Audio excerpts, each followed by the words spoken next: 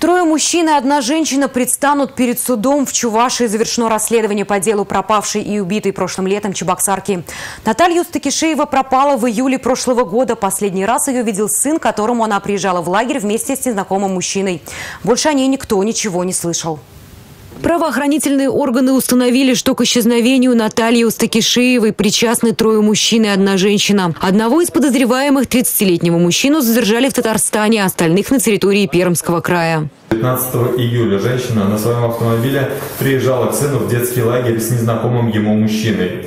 После того, как она уехала, сын продолжил отправлять ей сообщения и заметил, что приходившие ответы не были похожи на то, как писала мать. Тогда мальчик по СМС спросил, как зовут бабушку, после чего понял, что отвечает ему уже не мама. После этого родственники женщины обратились в полицию. В ходе следствия выяснилось, что от имени погибшей на сообщение отвечал тот самый мужчина. Им оказался 32-летний житель Пермского края. При цели хищения ее имущества он предложил 27-летнему знакомому совершить в отношении нее разбойное нападение и убийство, на что тот согласился. 20 июля прошлого года под предлогом очистки автомобиля, потерпевшей от загрязнений битумом, эти двое злоумышленников вместе с потерпевшей приехали в безлюдное место в один из гаражных кооперативов, где задушили ее. Затем обвиняемые похитили у нее золотые украшения, сотовый телефон и ключи от ее квартиры, откуда они также похитили ювелирные изделия, денежные средства и другое имущество, а также банковские карты и пин-коды к ним.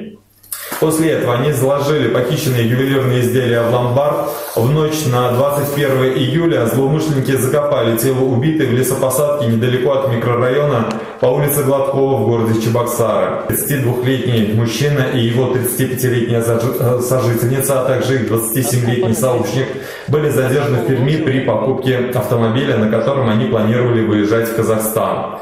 Автомобиль, принадлежащий убитой, был обнаружен на авторынке в городе Советской Кировской области. За то время его уже успели перепродать три раза.